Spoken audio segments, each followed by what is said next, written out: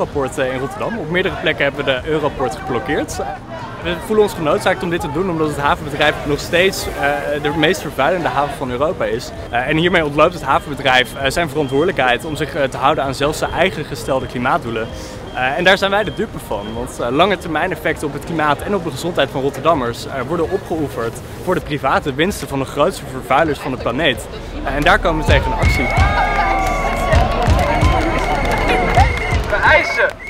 Eerste herover onze toekomst. Een einde van de fossiele industrie in deze haven in 2030. Ten tweede, herover onze banen. Iedere havenarbeider verdient zekerheid en welvaart in een groene en duurzame baan. Ten derde, herover onze lucht. Bedrijven moeten stoppen met de giftige uitstoot en hun troep opruimen. En als laatste eisen wij, herover onze stem.